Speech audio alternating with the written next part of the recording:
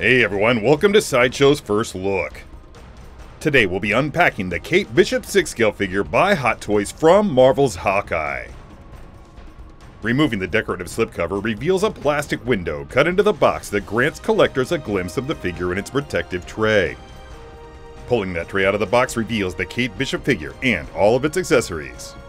With everything laid out, you can see the Kate Bishop figure in the center standing atop her base. To the right, we have Kate's bow and a quiver. Over on the left, you can see a sextet of arrows as well as six arrowheads and a selection of swap out hands, including a pair of fists, a pair of hands for holding the bow, and a pair for drawing the bowstring. The Kate Bishop figure stands about 11 inches in overall height and is decked out head to toe in a stylish custom tactical getup in tones of purple and black. The portrait features an authentic likeness of the character as portrayed by actor Hailee Steinfeld. The skin tones and lips are subtly shaded, and even the bandage cut on her chin is evident.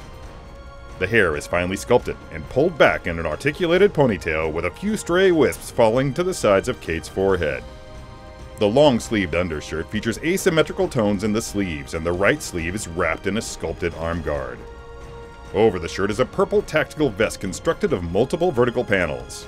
A harness for the quiver crosses the chest at the front, and a holster for trick arrowheads falls over the left hip from a black belt at the waist.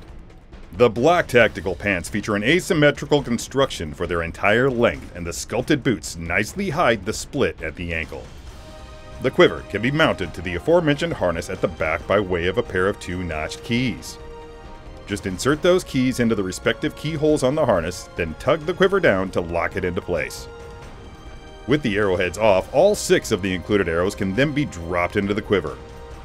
The Kate Bishop figure also includes an assortment of six arrowheads, each of which can be friction fit onto any of those six arrows.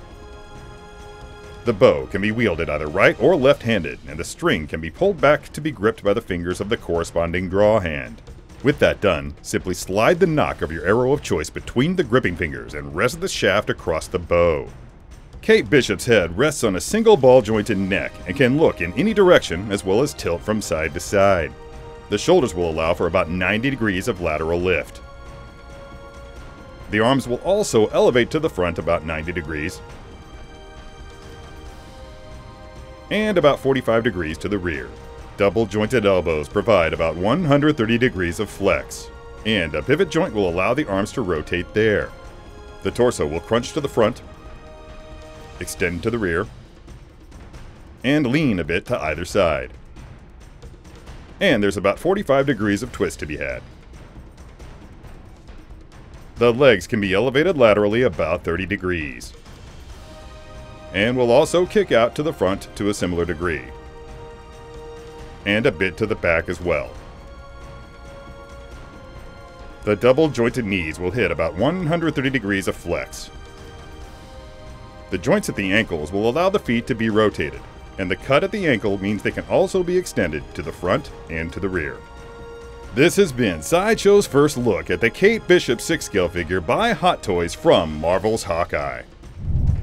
For more information about this figure, or to see the wide selection of Marvel Cinematic Universe figures available from Hot Toys, follow the link below.